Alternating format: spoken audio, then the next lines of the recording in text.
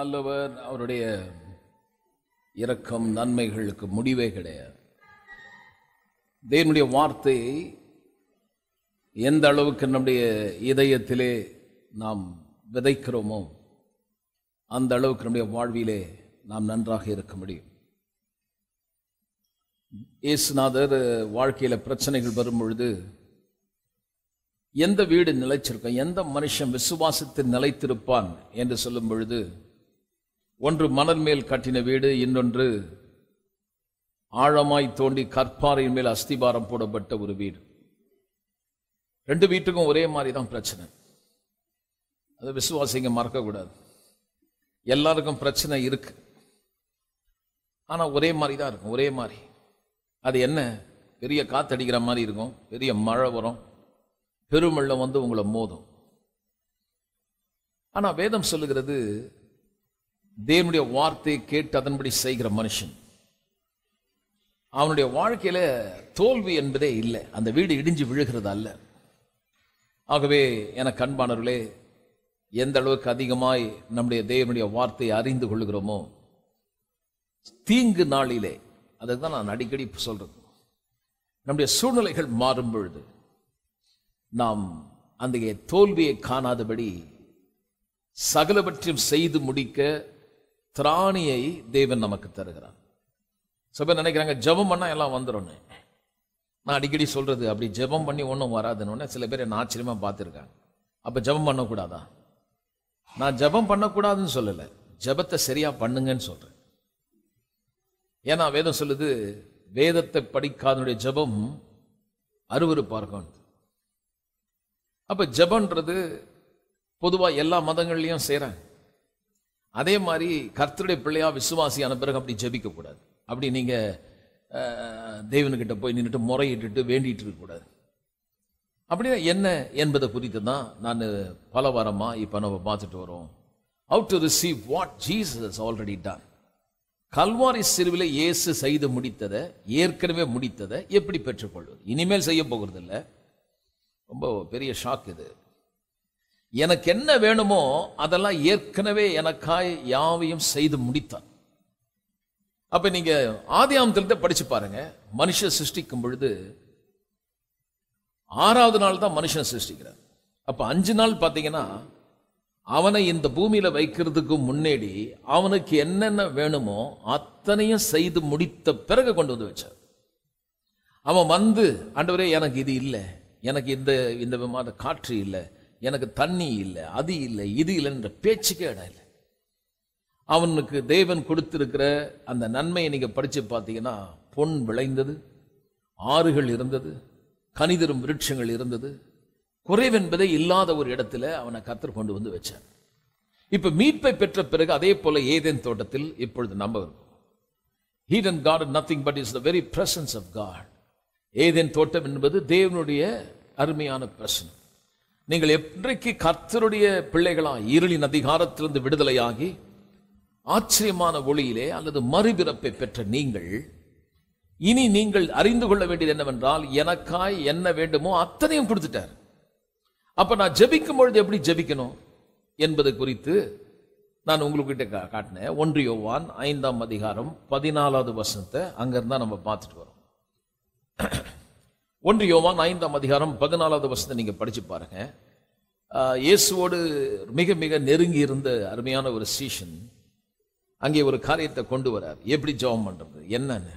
இயேசு நான் சொல்லி கொடுத்ததை அங்கே காட்டு கொடுக்குறாரு. சொல்கிறார் நாம் எதையாகிலும் எடுத்த எடுப்பிலேயே எனக்கு அது ரொம்ப பிடிச்சது. சிலையாக சிலவற்றை ஆகிலும் அப்படின்னு போடாமல் எதையாகிலும்.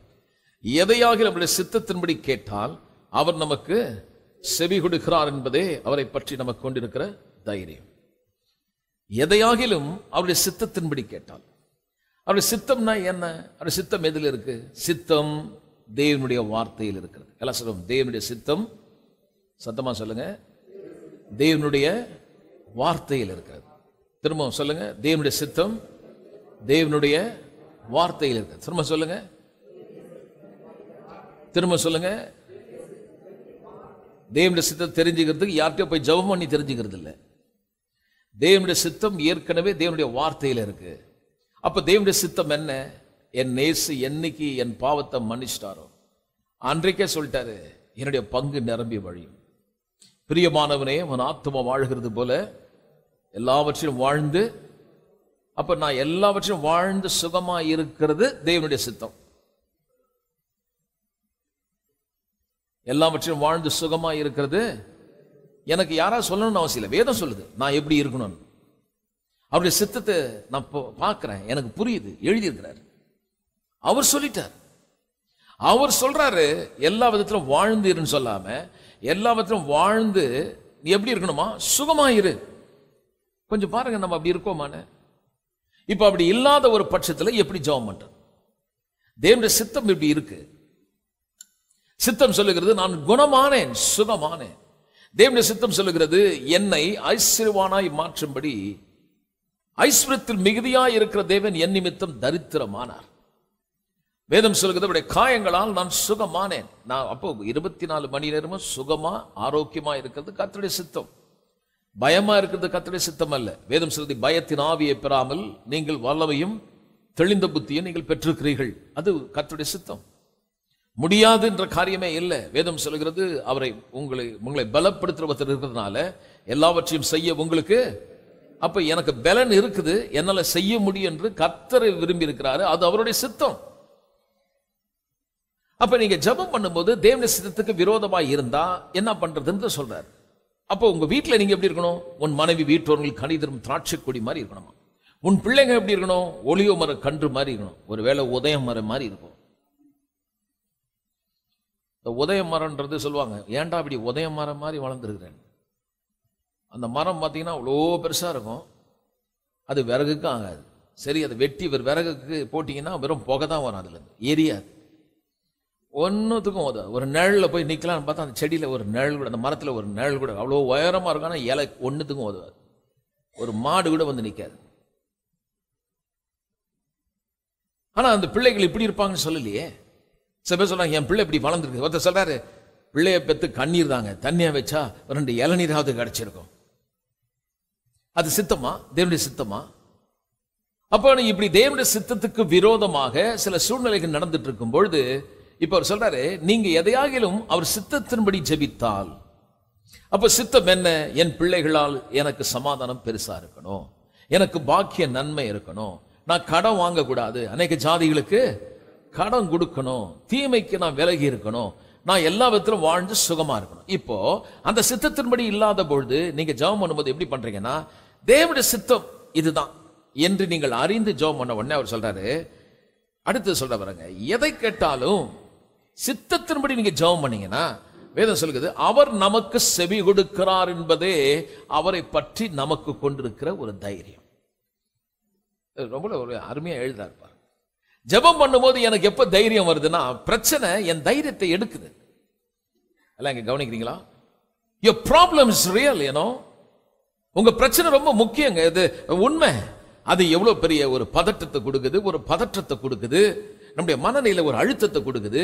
ஆனா நான் ஜபிக்கும் பொழுது எனக்கு எப்ப தைரியம் வருதுன்னா இன்றைக்கு இருக்கிற இந்த சூழ்நிலை இது தேவனுடைய சித்தம் அல்ல. நான் சித்தத்தின்படி ஜெபிக்கிறேன் அதனால எனக்கு கண்டிப்பா பதில் வருமோ வராதோ என்று அல்ல எனக்கு தைரியம் வந்துடுது ஏன் தைரியம் வருதுன்னா சித்தத்தின்படி ஜெபி ஜெபிக்கும் பொழுது யோவான் சொல்றாரு அவர் செவி கொடுக்கிறார் என்பதே அவரை பற்றி கொண்டிருக்கிற தைரியம். இப்போ நாம் ஆராதிக்கிற அல்லது நாம் பிரசங்கித்துக் கொண்டிருக்கிற இந்த தேவனுக்கு உருவம் கிடையாது. நல்லா ஒரு ஆமேன்னு சொல்லுவோம். ஆனா நம்ம வீட்டில் இருக்கிற ஜனங்களுக்கெல்லாம் உருவம் இருக்குது. நம்ம பக்கத்திலே இருக்காங்க. இவங்க சில நேரம் கூட இருக்கிறவங்களால உனக்கு பிரச்சனை உனக்கு நிறையா இருக்கலாம். வேலையில் இருக்கலாம் குடும்பத்தில் இருக்கலாம் உங்கள் கண்ணில் பார்க்குறீங்க பொருளாதாரத்தில் சில பிரச்சனைகள் இருக்கலாம் சரீரத்தில் வியாதி அவ்வளோ பெருசாக முன்னே நின்று உன்னை பயமுறுத்திட்டு இருக்கலாம். இப்போ காணப்படாத அதர்சனமான தெய்வத்தை இந்த பிரச்சனைகள் மத்தியில் நீங்கள் போய் ஏதாவது ஒரு வச்சுக்கிட்டு நீங்கள் ஜெபம் பண்ணுங்கன்னு சொல்லலை. கத்து சொல்றாரு இப்படிப்பட்ட பிரச்சனை வரும்பொழுது என் வார்த்தையை முன்ன நிறுத்தி என் சித்தம் என்னன்னு முதல்ல நீ தெரிஞ்சுக்கோ. ஜெபிக்கிறதுக்கு முன்னாடியே என் சித்த என்னன்னு தெரிஞ்சுக்கோ. என் சித்த என்னன்னு தெரியாமலே நீங்க கெஞ்சிக்கிட்ட ஆண்டவரே எப்படியாவது எனக்கு ஒரு உதவி செய்ய மா- இல்ல இல்ல அவர் சொல்றாரு உனக்கு தெரியலையே. அதனால தானே உனக்கு தைரியம் இல்ல. அதனால தான் நீ கெஞ்சுற. ஹீலிங் இஸ் சில்ட்ரன் பிரெட் சுகம் பிள்ளையன் அப்பம். எல்லாம் சொல்லுவோம்? ஆஹா நல்லா சொல்லுங்க. அப்ப அப்பன்னு சொல்லும்போது நம்ம பிரெட்னு சொல்றோம்ல இங்கிலீஷ்ல பிரெட் நம்மெல்லாம் காலையில் நமக்கு தெரிஞ்சு நாடிக்கடி சொல்கிறது நம்ம ஊரில் நம்ம யாரும் பிரெட்டு சாப்பிட்றது. வெளி ஊர்லலாம் பிரெட் தான் காலையில். பிரேக்ஃபாஸ்ட்னா பிரெட்டு சாப்பிடுவோம். அதனால் அந்த ஊரில் அது சொல்கிறாரு ஹீலிங் இஸ் சில்ட்ரன் பிரெட்னா அவங்களுக்கு புரிஞ்சிடும் யூதர்கள் நல்லா புரியும். காலையில் அப்பம் சாப்பிடுவான் பிரெட்டு சாப்பிடுவோம். நம்ம காலையில் என்ன சாப்பிட்றோம்? ஏதோ இட்லியோ பூரியோ பொங்கலோ சாப்பிடுறோம் அந்த பிள்ளை வீட்டில் போய் அந்த பொங்கலுக்காக ஒரு இட்லிக்காக அம்மா கெஞ்சுகிறேன். அப்பா கெஞ்சுகிறேன். இன்னைக்கு எனக்கு ரெண்டு இட்லி கொடுப்பீர்களா? ஒரு முறை எனக்கு மனம் இறங்க மாட்டீரான்னா அந்த மாதிரி ஒரு கேவலமான ஒரு பெற்றோர்கள் இருக்க முடியாதுன்னு நான் நினைக்கிறேன். அப்ப வேதம் சொல்லுகிறது நீ புரிந்து கொள்ளுங்கள் உங்கள் சுகம் என்பது நீ கெஞ்சி பத்து பேர் முன்னாடி அழுது புரண்டு உருண்டுட்டு வாங்குறது இல்லை சில நேரத்தில் இந்த பிள்ளைங்க பார்த்தீங்கன்னா பிள்ளைய சரியா வளர்க்கணும். அது வயது வரும்பொழுது அதுங்களுடைய மனநிலையில் மாற்றம் ஏற்படலாம். நம்ம கையில் இருக்க வரைக்கும் ஒழுங்காக வளர்க்கணும். ராமன் சொல்லுவோம் அந்த அந்த மால்ல ஷாப்பிங் மால்லாம் போகும்போது எனக்கு ரொம்ப ஆச்சரியமாக இருக்கும் இந்த குழந்தைங்க நல்ல டீசன்ட் ஃபேமிலி அந்த பிள்ளைங்க பார்த்தீங்கன்னா அந்த ரோட்டில் அந்த தரையில் உருண்டு பெறலும் பாருங்க சில பிள்ளைங்க. அது பாட்டு பிறண்டு அழுதுகிட்டே இருக்கும். அப்படி ஸ்க்ரீம் பண்ணும். அவங்க அம்மா கண்டுக்கிறதே கிடையாது. இந்த அலற விடக்கூடாது. அந்த பிள்ளைக்கு ஒரு கான்ஃபிடென்ட் ஒரு தைரியத்தை கொடுக்கணும். Amen? அந்த மாதிரி நீங்க வந்து அழுது புரண்டு ஐயோ கத்தாவே அப்பா அப்படின்னு கதறாம கதை சொல்லாது என் பேரை கெடுத்துடாத நாலு பேர் முன்னாடி ஜெபம் பண்றேன்னு சொல்லி என்னை இழிவுபடுத்திடாத அதனால அவர் சொல்றாரு நீ இப்படி ஜெபிக்கிறியே இந்த ஜெபம். நீ நினைக்கிற நான் ரொம்ப நேரம் ஜெபம் பண்ணிட்டேன்னு. ஆனா கதை சொல்றாரு இந்த ஜெபமே எனக்கு அருவறுப்பா இருக்குது. அதனால தான் நான் திரும்ப சொல்றேன். ஜெபிச்சா பதில் வந்துடும் சொல்ற அர்த்தம் கிடையாது வராது. சரியா ஜெபம் பண்ணணும். பண்றதுக்கு முன்னாடி உனக்கு தெரியணும் தேவ சித்தம் என்ன? தேவனுடைய சித்தம் என்ன? அப்போ நான் ஜெபம் பண்ணும்போது தேவனுடைய சித்தத்துக்கு விரோதமாக இருந்தா கூட எனக்குள்ள ஒரு தைரியம் எப்போ வருதுன்னா இது தேவனுடைய சித்தம் தெரிஞ்ச உடனே யோவான் சொல்றாரு அந்த சித்தத்தின்படி ஜெபம் பண்ணா செவி கொடுக்கிறார் என்பதை அவரை பற்றி நாம் கொண்டிருக்கிற தைரியம். அடுத்து சொல்றாரு செவி கொடுக்கிறான்னு உனக்கு தெரிஞ்சதுன்னா. பக்கத்தில் சொல்லுங்க உனக்கு தெரிஞ்சதுன்னா. கொஞ்சம் நல்லா சொல்லுங்க.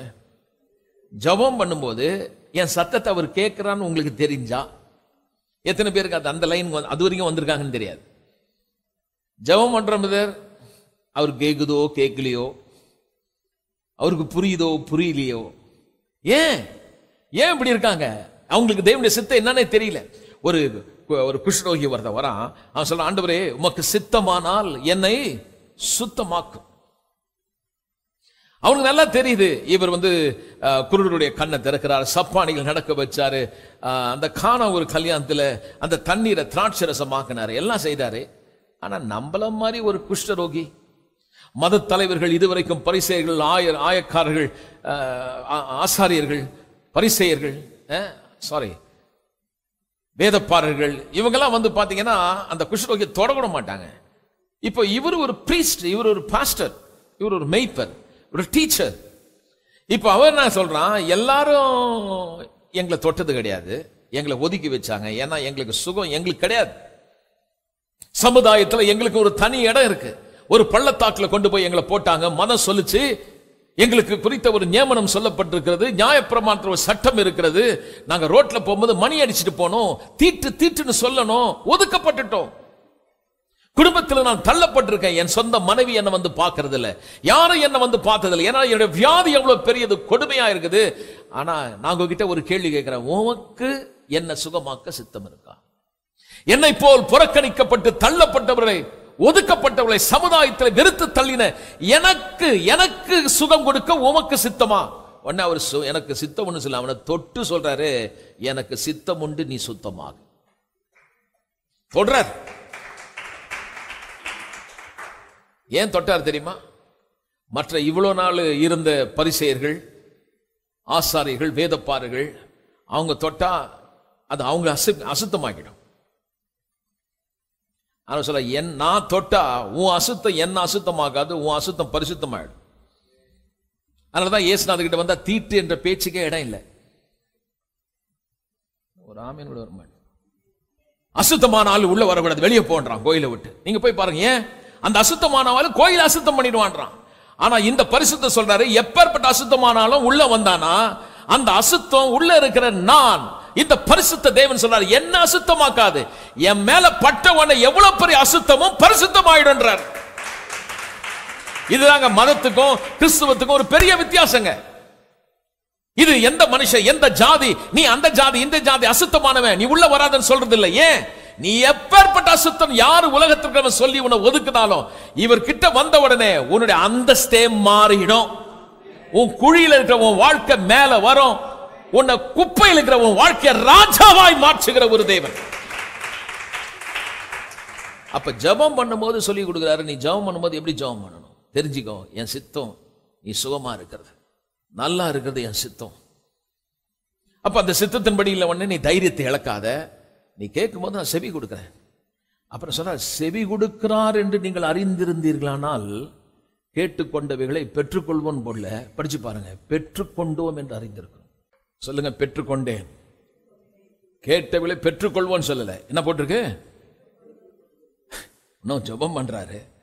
ஜெபம் பண்ணும்போதே அவர்களுடைய கான்ஃபிடென்ட் எப்படி வந்துருதுன்னா அவர் செத்ததுபடி ஜெபம் பண்றேன். அவர் எனக்கு செவி கொடுக்கிறாரு. அதனால எனக்கு கேட்டவைகளை பெற்றுக்கொள்ள போறதில்ல. பெற்றுக்கொண்டேன். நல்லா சொல்லுங்க பெற்றுக்கொண்டேன். இன்னைக்கு ஜப கூட்டங்களில் பார்த்தீங்கன்னா ஜபிக்கிறேன்னு சொல்லிட்டு ஜனத்தை சேர்த்துக்க வேண்டியது. கத்தர் செவி கொடுக்குறாரா என்னன்னு தெரியல. கதறி கதறி அழ வேண்டியது. ரொம்ப சத்தமாக ஜெபம் பண்ணணும்னா இந்த ஜபம் கேட்டப்படுறோம்னு நினைக்கிறாங்க. கத்த சொல்றாரு என் வார்த்தையை கவனி. நீ முதல்ல ஜபிக்கும் பொழுது இது தெய்வனுடைய சித்தம் அல்ல. உனக்கு நான் கொடுக்க மாட்டேன். உனக்கு வராதுன்னு நீ நினைக்காத. என் சித்தம் நீ சுகமாக இருக்கிறது. என் சித்தம் நீ சுகமாக எல்லா விதத்திலும் வாழ்ந்திருக்கிறது என்னுடைய சித்தம். நீ எந்த வியாதி இல்லாமல் வாழுது தேவனுடைய சித்தம். கடன் இல்லாமல் வாழுது என்னுடைய சித்தம். அப்போ ஜபிக்கும் பொழுது இப்படிப்பட்ட விதத்தில் ஜெபம் பண்ணுங்க. ஏன்னா ஏற்கனவே கொடுத்துட்டேன்றார். மார்க்குவின் சுவிசேஷம் பதினோராம் அதிகாரம் இருபத்தி நாலாவது வருஷத்தை நான் உங்களுக்கு எடுத்து காட்டினேன். அங்க சொல்றாரு எதையாகிலும் நீங்கள் அங்க போய் இயேசுநாதர் சொல்றாரு இதுதான் எடுத்து யோவான் பேசியிருக்கார். யோவான் சொந்த கருத்து கிடையாது இயேசுநாதர் பேசுனது தான் அது. அதனால் நீங்கள் ஜெபம் பண்ணும்போது எவைகளெல்லாம் கேட்டுக்கொள்வீர்களோ அவைகளை பெற்றுக்கொள்வோம் என்று விசுவாசிகள் அப்பொழுது அவைகள் உங்களுக்கு இங்கே டிரான்ஸ்லேஷன் சரியாக வரல. ஆனால் ஒன்று யோவானில் ரொம்ப கரெக்டாக டிரான்ஸ்லேஷன் வந்துடும் நான் அது ஆம்பிளிஃபைட் பைபிளில் எழுதியிருக்கேன் நான் படிக்கிறேன் பாருங்க. For this reason I am telling you whatever things you ask for in prayer in accordance with God's will. Believe with confidence, trust that you have received them and they will be given to you. என்ன சொல்லுதுன்னா நான் உங்களுக்கு சொல்றேன் நீங்க எவைகளெல்லாம் என்னுடைய சித்தத்தின்படி நீங்கள் வேண்டிக் கொள்கிறீர்களோ அதை குறித்து உங்களுக்கு ஒரு விசுவாசிங்க ஒரு ட்ரஸ்ட் ஒரு நம்பிக்கை ஒரு உறுதி இருக்கணும் என்ன எதை எப்படிப்பட்ட ஒரு உறுதி எப்படிப்பட்ட நம்பிக்கை கேட்டவைகளை பெற்றுக்கொண்டேன் என்று விசுவாசிங்கள் அப்பொழுது அவைகள் உங்களுக்கு உண்டாகும். கேட்டவைகளை பெற்றுக்கொண்டேன் என்று விசுவாசியுங்கள். அப்பொழுது அவைகள் உங்களுக்கு உண்ட என்ன இந்த- இந்த ஜெபத்துடைய சொல்லி கொடுக்குறாரு பாருங்க. இன்னும் வரல. கேட்கும் போதே எப்படி விசுவாசிக்கணுமா? பெற்றுக்கொண்டேன் என்று விசுவாசியுங்கள். அப்பொழுது அவைகள் உங்களுக்கு உண்டாகும். கேட்கும்போது நம்ம பெற்றுக்கொண்ட மாதிரியா பேசுறோம்? எவ்வளவு நாளா இப்படி பண்ணிட்டு இருக்கீங்க ஆண்டவரே? நீ உண்மையாகவே அங்கதான் இருக்கீங்களா? நம்பாலும் கேட்க என்ன மட்டும் இந்த கதியில வச்சிருக்கீங்களே? ஏன் ஆண்டவரே இப்படிப்பட்ட குழப்பம்? எப்ப தெரியுமா இந்த மாதிரிலாம் வருது? உங்களுக்குள்ள விசுவாசம் இருக்கா இல்லைன்னு எப்ப தெரியும்னா I know there are people they say I I do brother I am believing I am believing I am not talking about the religious believing ஏனோ மதத்தின் அடிப்படையில் விசுவாசிக்கிறாங்கன்னு சொல்றாங்க அதை பத்தி பேசல. When you go through the pressure when you have a problem உனக்கு பிரச்சனை வரும்பொழுது உன்னுடைய சூழ்நிலை மத்தியில் நெருக்கப்படும் போது நசுக்கப்படும் போது விசுவாசிக்கிறது என்னன்றது உள்ளிருந்து வரும். இருதயத்தின் நிறைவினால் வாய் பேசும். என்ன மாதிரி விசுவாசி உங்களுக்கு இருக்குது எப்ப தெரியும்னா அந்த மெஷர் எப்ப தெரியும்னா பிரஷர்ல போகணும். கஷ்டம் வருது துன்பம் வருது பயமா இருக்குதுங்க. சில நேரம் என்ன நடக்குன்னே தெரியல என்ன பண்ண போறேன்னு தெரியல. அந்த நேரத்தில் உங்க வாயிலிருந்து வருது பாருங்க வார்த்தை. ம் ஹலோ? எல்லாம் கவனிக்கிறீங்களா? பேரை சொல்றது ஞான்சன் எடுத்துட்டு விசுவாசி ஆயிட்டேன் விசுவாசி ஆனது நல்லதுதான். விசுவாசிக்கிறோமா? விசுவாசம் இருக்கா? எப்ப தெரியும்? அந்த ப்ரெஷரில் போடணும். சில வாட்ச் எல்லாம் பார்த்தீங்கன்னா வாங்கும்போது சொல்கிறான் வாட்டர் ப்ரூஃப் ரெசிஸ்டன்ஸ் அதுக்கு ஒவ்வொரு வாட்சுக்கு ஒவ்வொரு ரேட் இருக்குது. அது பார்த்தீங்கன்னா ten metres fifteen metres twenty metres hundred metres two hundred fifty metres ஒவ்வொன்றுக்கும் ஒவ்வொரு ரேட்டு அது ஐம்பது மீட்டர் வரைக்கும் போகும்பொழுது போடுறான் தண்ணியில் போடுறான் தண்ணி உள்ளே போகாது. அப்போ போ அந்த தயார் பண்ணவன் அந்த தண்ணி உள்ள எடுத்துன்னு போய் ப்ரெஷரில் எடுத்து போய் அழுத்தி பார்க்குறான். அப்புறமா சொன்னான் டெஸ்டட் ப்ரூஃப் எடுத்துக்கோ. இல்லாட்டி ஒரு சீல் போட்டுருக்கோம். We are giving guarantee for this கத்த சொல்கிறாரு உன்னுடைய விசுவாசம் என்னன்னு உனக்கு தெரியணும்னா you have to go through test and trials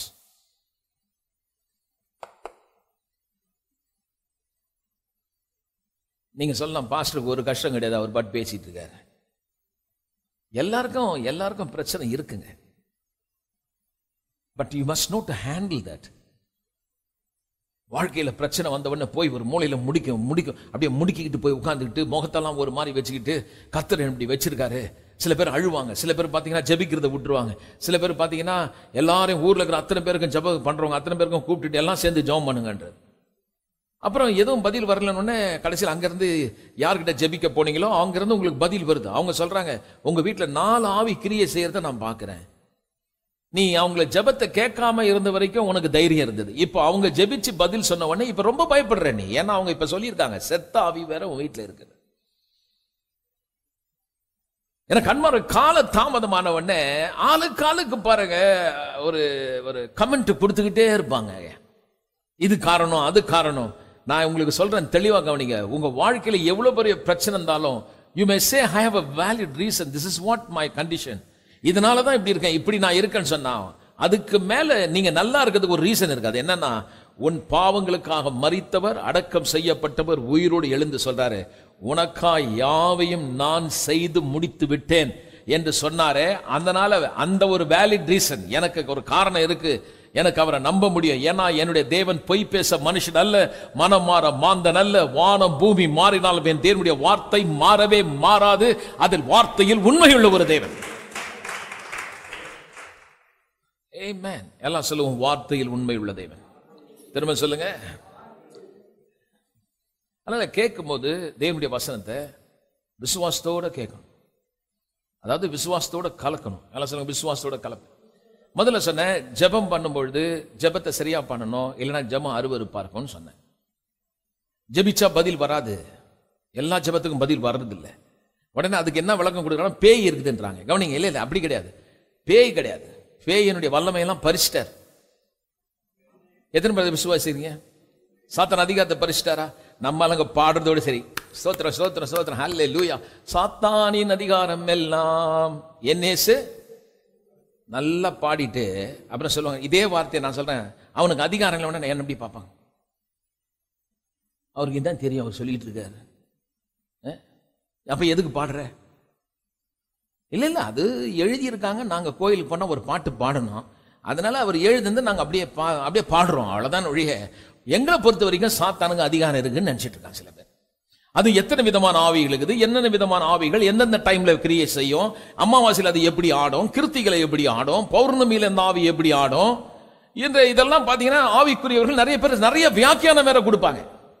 இப்படிப்பட்ட இடத்துல உட்கார்ந்து நீங்கள் உங்க வாழ்க்கையை கெடுத்துக் கொள்ளாதபடி நான் சொல்லுகிறேன். எனக்கு அன்பான நல்ல தெளிவா தெரியணும். எழுதியிருக்கிற வார்த்தையின்படி நான் சொல்லுகிறேன். அவனுக்கு உங்கள் மேல் அதிகாரம் இல்லை. நீங்கள் அவனை மிதிக்க முடியும். சர்ப்பத்தியன் தேளியை நீங்கள் நசுக்குவீர்கள் மிதிப்பீர்கள். சாத்தானுடைய சகல வல்லமை மேற்கொள்ளும்படி அதிகாரம் உனக்கு கொடுக்கப்பட்டிருக்கிறது. ஒன்றும் உன்னை சேதப்படுத்த முடியாது. எல்லாம் சொல்லுவோம் ஒன்றும் என்னை சேதப்படுத்த முடியாது. இப்போ நம்ம வாழ்க்கையில இந்த ஜெபத்துக்கு பதில் வரணும்னா எப்படி பதில் வர்றது? ஏற்கனவே கொடுத்துட்டார் கொடுத்ததை நான் எப்படி பெறது எப்படி என் வாழ்க்கை நீங்க சொல்றீங்க பாஸ்டர் கொடுத்துட்டாருன்றீங்க. எங்கையில வரலையேன்னா. போன வாரம் நான் உங்களை சொல்லி அமிச்சேன் மார்க் சுவிசேஷம் ஒன்னாம் அதிகாரம் கடைசி வரைக்கும் படிச்சுட்டு வாங்க படிச்சுட்டு வாங்க சொன்னேன். எனக்கு தெரியல நீங்க படிச்சுட்டு வந்தீங்களா என்னன்னு. படிச்சுட்டு வந்தீங்களா? Okay good. ரைட். திருப்பி திருப்பி கொள்ளுங்க. மார்க் சுவிசேஷம் எடுத்துக்கொள்வோம். மார்க் சுவிசேஷம் நாலாம் அதிகாரத்தை திருப்போம் மார்க் சுவிசேஷம் நான்காம் அதிகாரம். ஒன்றிலிருந்து கடைசி வரைக்கும் படிக்க சொன்னேன். நாலாவது வசத்தையும் பதினஞ்சாவது வசனையும் மாறி மாறி படிக்கலாம். ஏன்னா அந்த வசனம் சொல்றாரு. அப்புறம் அந்த வசனத்தை குறித்த ஒரு விளக்கம் கொடுக்கிறார். நாலாவது வசனம் அவன் விதைக்கையில் சில விதை வழி அருகே விழுந்தது. ஆகாயத்து பறவைகள் வந்து அதை பட்சித்து இயேசுநாதர் வந்து எப்படி பெற்றுக்கொள்வது என்கிற அருமையான சத்தியத்தை ஓமைகளை கொண்டு சொன்னார். அது parable and earthly story with heavenly meaning ஓமைன்னு சொல்லும்போது பூமியிலே இருக்கக்கூடிய சாதாரண கதையை சொல்லி பரலோக ராஜ்யத்துக்குரிய ரகசியத்தை ரொம்ப சுலபமாக விளங்கி கொள்றதுக்கு போதிச்சார். எல்லாம் கவனிக்கிறீங்களா?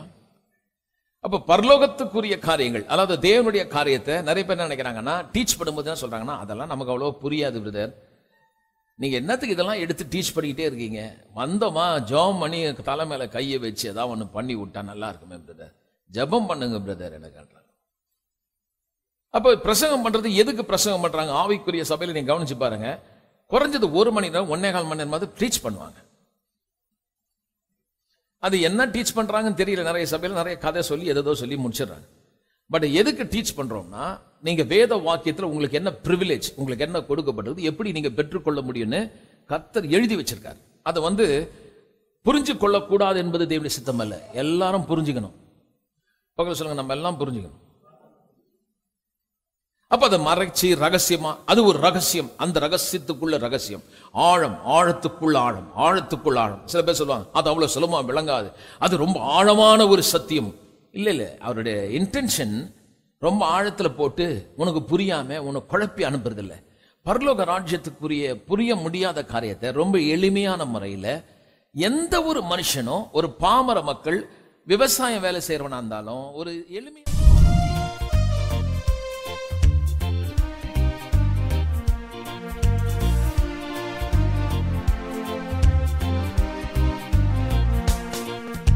உன்னை ஆசீர்வதித்தே உன்னை மேன்மைப்படுத்துவே உன்னை ஆசீர்வதித்தே உன்னை மேன்மைப்படுத்துவே உன் எல்லையை நீ விரிவாக்கு உன் கயிறுகளை நீளமாக்கு உன் கூடாரத்தை விசாலமாக்கு.